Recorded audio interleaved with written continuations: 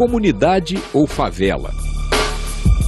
Cego ou deficiente visual? Se você se comportar de acordo com seus valores e convicções, sem ligar para regras e modismos da sociedade, você pode ser rotulado como uma pessoa politicamente incorreta.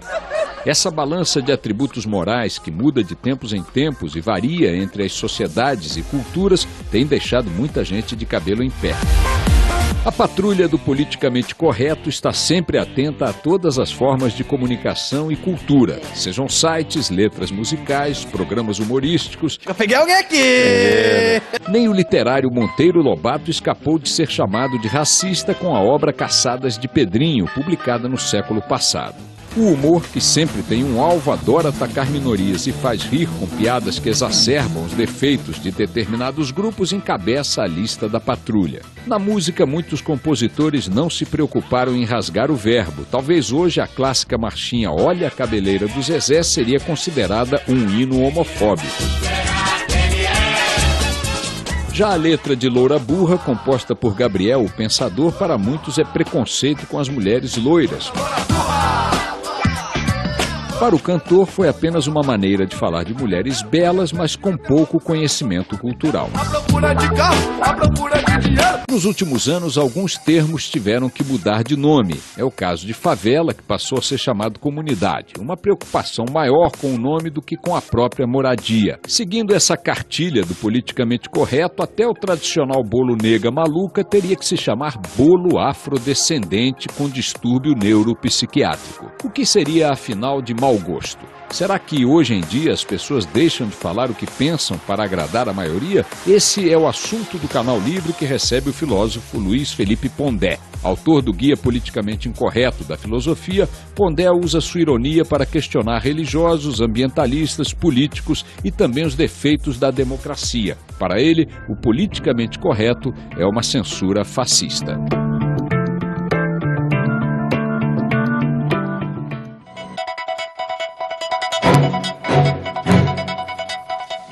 Para entrevistar o filósofo Luiz Felipe Pondé, estão comigo aqui na bancada os jornalistas Fernando Mitre e Fernando Gabeira. Pondé, boa noite, obrigado boa noite. por sua presença aqui no Canal Livre. Deixa eu abrir aqui os debates, Mitre e Gabeira, se vocês me permitem. Tudo que possa ser classificado, Pondé, como politicamente correto e que é a base, o alvo da sua crítica nesse setor a isso que é classificado dessa forma é peçonhento, é negativo, é atacável? Quer dizer, o politicamente correto não produziu nada de bom? Assim, como eu falo no livro, acho que o politicamente correto ele é fruto de um processo nos Estados Unidos em que as pessoas tinham que um pouco como que ampliar a educação doméstica. Então você começa a conviver com grupos no espaço público que não convivia antes e tinha que aprender a não fazer piada de mau gosto, por exemplo, como falar determinadas coisas que homens só falam entre si quando tem mulheres por perto, ou contrário. Então eu acho que o politicamente correto, ele, essa origem dele tem lá um certo sentido até um certo ponto. A minha crítica ao politicamente correto é que ele, na realidade, ele se transformou tanto, seja, tanto no, na mídia ou na imprensa ou na, no mundo acadêmico, ele se transformou num jogo de poder de certos grupos para, na realidade, atrapalhar as outras pessoas, evitar o debate público, lançar sobre você a pecha de que você é reacionário, que você é contra os negros ou contra os homossexuais, ou seja, barateia o debate politicamente correto. A minha primeira crítica a ele é essa. Ele torna o debate pobre, e uh, as pessoas que defendem o politicamente correto ocupam espaços nas instituições e acabam jogando com aquilo que eu acho que é uma outra coisa que tem hoje, e que tem muita gente que escreve da aula e tem medo, porque todo mundo se ofende com qualquer coisa. Você fala uma coisa, você tem que pensar na palavra, no, no, no, que o outro vai sentir com aquilo, e você acaba com medo de perder o emprego, ser perseguido, ser processado. Eu acho que isso é um enorme empobrecimento. O empobrecimento, me parece, é sempre indicativo de censura. Professor, o senhor disse também que o politicamente correto é uma mentira moral. Sim. E é também uma praga. Praga, talvez no sentido de que está espalhando. Sim. É, e essa, praga é, nesse sentido. Essa é a minha é. pergunta. É. Os meios disponíveis aí de comunicação moderna, eles padro, tendem a padronizar esse comportamento, quer dizer, amplifica a ideia do politicamente correto, ou, a, ou pode incentivar a individualidade, que é uma reação ao politicamente correto? Eu acho que o politicamente correto, no Brasil, por exemplo, ele acabou recebendo uma resistência maior, talvez por conta da famosa cordialidade brasileira, pensando no Sérgio Buarque, né? ele acabou recebendo uma resistência maior do que se imaginava. O politicamente correto. Né? Pois é, nesse caso a internet pode ser até uma arma contra o politicamente correto, não é, a favor. É, não, é assim, tudo cresce na internet, seja politicamente correto ou incorreto. Na internet você pode linchar quem você quer, virtualmente eu quero dizer, você pode ameaçar quem você quer. Agora, me parece que na mídia o politicamente correto só não consegue impedir o pensamento de forma mais direta porque tem uma resistência. Porque o politicamente correto hoje, ele se alimenta do medo que a pessoa tem de ser processado. O cara está escrevendo, ele tem medo de usar uma palavra que fira algum grupo. Recentemente, até a Associação de Ateus processou alguém porque teria relacionado ateu a, a, cometer assassinatos. O que é uma estupidez. As pessoas matam acreditando em Deus ou não acreditando em é. Deus. Tanto faz. Processaram o Datena. É, isso aí. é o processo aí. mais absurdo. É. Até os ateus, quer dizer, que antigamente defendiam a liberdade do pensamento, a liberdade de crença, agora entra no jogo de ofendido. Então, acho que o risco do politicamente correto na mídia é sempre diminuir o impulso que as pessoas têm de pensar livremente. Eu acho que o público muitas vezes fica de saco cheio. Tanto é que o meu livro teve um retorno enorme. Quer dizer, o politicamente correto agride a liberdade das pessoas. Eu acho que não tenha, eu não tenho dúvida que sim, inclusive na sala de aula. Gabeira. Nas suas colunas, você, além de falar do politicamente correto, de criticar, evidentemente, você critica também as pessoas que acham donas de uma ideia geral sobre o mundo, de uma ideia salvadora, e se dedicam a isso. Quer dizer, você também tem uma linha crítica contra as pessoas que se acham melhores que as outras e são salvadoras do mundo. Não é? Sim. Eu acho que isso também é um dos aspectos da sua crítica. Eu acho que o politicamente correto teve uma força muito grande nos Estados Unidos. Talvez a gente tenha importado muito desse material dos Estados Unidos. Com certeza. E, e, inclusive, se eu fosse um marxista radical duro, leninista, alguma coisa assim, eu, eu diria que é, eu diria que o politicamente correto, inclusive, ele é postiço como processo revolucionário para quem visa um processo revolucionário. Você situa no seu livro o, a semente, digamos, do politicamente correto num filme americano. Um ah, eu comento General o filme do General Patton. É, é, isso aí. Exatamente. Porque tem uma, um, momento é em que... ele dá uma surra num, num, soldado que teve medo Ele bate no soldado que foi covarde, estava é, é. com crise de nervo, e ele diz que o soldado não pode ficar ali dentro porque ali é um templo, porque são soldados feridos em batalha. Isso. E que um soldado que está em crise porque tem medo devia sair dali. E ele é patrulhado e perde o cargo. E aí perde o cargo, e a mídia toda cai em cima dele, e ele fica pelo que está no livro, no filme e tudo mais, é porque ele deu uma, desculpem uma porrada. Um, ele deu uma sua, Não, ele, ele, ele deu um, uma não, bofetada no cara. Então, né? digamos, meus caros politicamente incorretos, que eh, deu-se ali uma reação, uma é. agressão. Não, mas não, o politicamente mas, assim, correto tem algum sentido, não foi, né? não, não é foi, acho que é diferente no filme. Acho que a questão, o, o Patton, ele, eh, ele estava, ele tinha um enorme número de qualidades como militar. E você, isso é o que o filme apresenta. Eu digo no livro, inclusive, que eu estou comentando um filme, não uma figura é, histórica. né? Então, assim, ele, tinha uma, ele é apresentado com um enorme cabedal de qualidades. E essas qualidades todas são preteridas porque ele fez aquilo. E aí ele tem que fazer uma desculpa pública, como se, no caso do Exército, a covardia não fosse um, um vício dentro do Exército. Quer dizer, o que eu acho que o filme mostra de interessante é justamente como ele vai sendo cerceado enquanto general, enquanto alguém capaz de realizar uma missão, por causa de um fato que mancha a imagem do Exército. É, Isso é politicamente a história correto. Queria voltar a uma, uma outra dimensão das suas colunas. A Angelina Jolie, há cerca de duas semanas, confessou, revelou que tinha retirado os seios porque temia o câncer.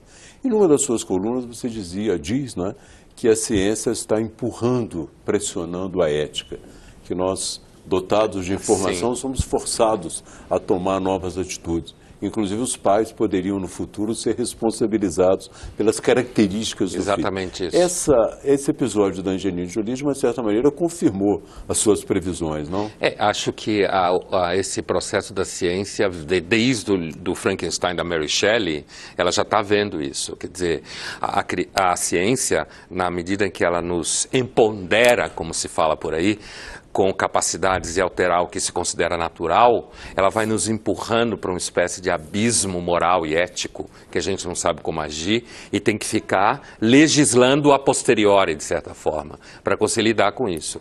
Mas eu queria voltar à tua questão anterior, Gabeira, porque assim, a, a crítica a qual você fez referência, que eu faço, uhum. né? é porque isso, eu sou uma pessoa, eu sou muito pautado pelas relações concretas diárias, né? E eh, eu sempre sinto que ah, as pessoas que se julgam ah, que elas representam um processo de salvação do mundo, eu sempre sinto nelas um sentimento de que elas são superiores moralmente. E eu vejo isso desde a universidade, nas pessoas de esquerda, por exemplo, eu estou usando um termo aqui de uma forma muito solta, a gente pode vir a definir melhor, mas as pessoas de esquerda, elas partem do pressuposto de que elas têm uma, uma, uma superioridade moral, como se fosse uma espécie de santidade. Né? Então eu vejo nelas um, um, tipo de puritanismo moralista, como se eles estivessem acima e que, quando na realidade a gente sabe que ao longo da história dos últimos anos, últimas décadas e séculos, dois séculos, grosso modo, normalmente todas as utopias desaguaram em violência. Carnificina. É, carnificina. O processo é, eu acho que o homem devia ser assim. Aí eu mato o cara real para nascer o homem que eu acho que tem Mas que existir. Mas é estranho, porque eu acabei de descobrir com essa tua explicação que o Tea Party é de esquerda. Porque se tem um grupo mais moralista, que se acha mais detentor de uma missão divina, de estar numa categoria superior, de ser uma raça, um grupo superior, é o Tea Party, a extrema-direita americana. Assim como o fascismo se colocava também como categoria superior, inclusive racialmente. E eu não e vi assim, nada menos esquerda do que Duas isso. coisas assim, começo pelo fim. Primeiro, para mim, fascismo e marxismo é a mesma coisa. Tá.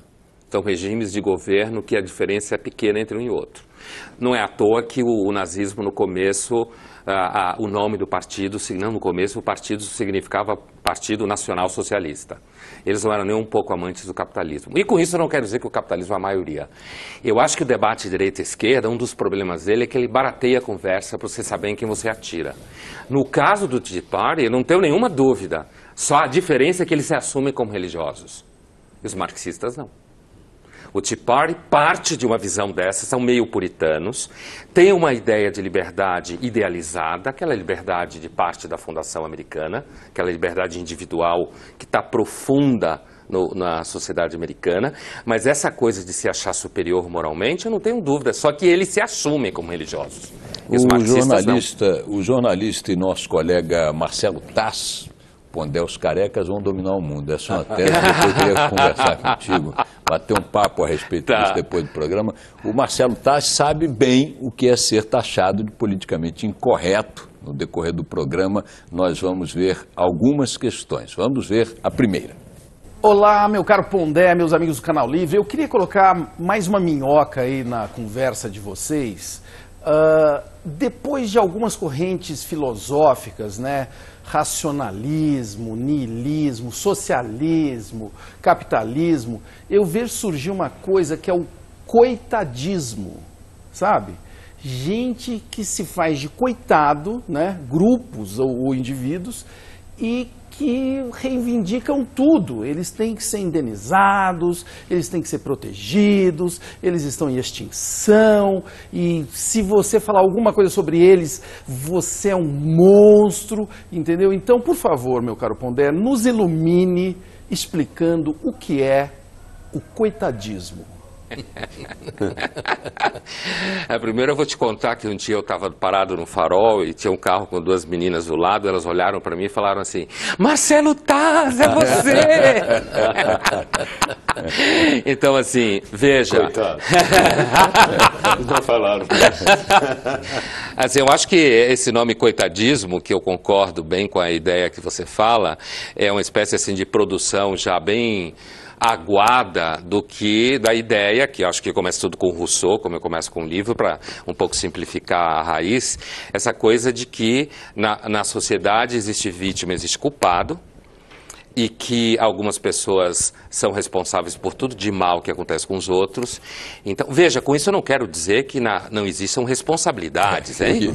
Não, isso não. Ninguém tem culpa é, por essa é, cagada. Não, mas aí que de tá. Eu, eu acho que a gente deve começar a pensar, antes de tudo, pela culpa que eu tenho. E aí eu lembro de Dostoiévski, que a gente pode falar de é. Dostoiévski depois. A gente deve começar pela culpa que eu tenho.